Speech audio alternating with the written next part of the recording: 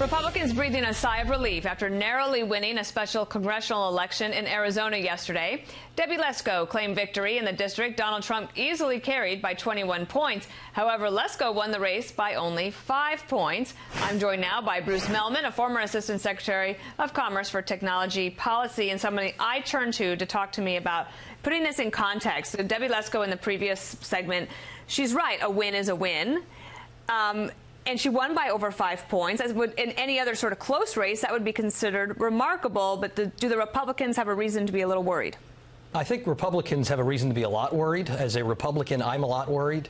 Uh, Lesko deserves credit for winning, but she didn't beat the spread in the last nine special elections, if you compare the margin of victory to the expected based upon uh, the partisan nature of the districts, we've underperformed the spread by an average of 17. Actually, we have, a, I think we have something from David Wasserman who showed that the number of races where uh, these special elections where Democrats have overperformed.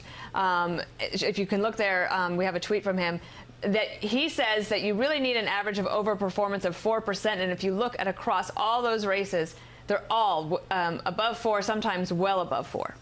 Uh, yes, it's uh, it is one of the many dead canaries at this point. dead canary. Uh, you have a graphic that you put together. You call it the blue wave, and what I wondered is. You know, there's speculation today. Axios led with it this morning, and I couldn't tell if it was just a scare tactic.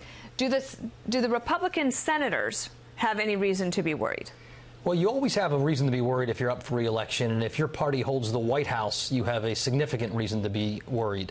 That said, as the uh, as the graphic shows, the map is extraordinarily favorable to Republicans. There are only nine Republican states that are in play or th- that are up this cycle, and only one of them, Nevada, was won by Hillary Clinton. Mm-hmm. By contrast, Democrats are defending 26, 10 of which went for President Trump. Mm-hmm. Now, Josh uh, Crow- uh, who we all know from National Journal, Hotline, uh, Josh. Hotline Josh, you can follow him on Twitter. He writes a column twice a week. This was great. He said that Democrats will soon find out that to win elections in the many competitive GOP leaning states and districts across the country, message matters a lot more than money and sounding like a card carrying member of the anti Trump resistance outside the liberal coast. It isn't a smart strategy. Last week we had Meredith Kelly from the DCCC here. She's the communications director. And she wanted to highlight five candidates. And I look at four of the five, and they're veterans. They're moderate Democrats. These are people that are not actually the progressive wing of the party.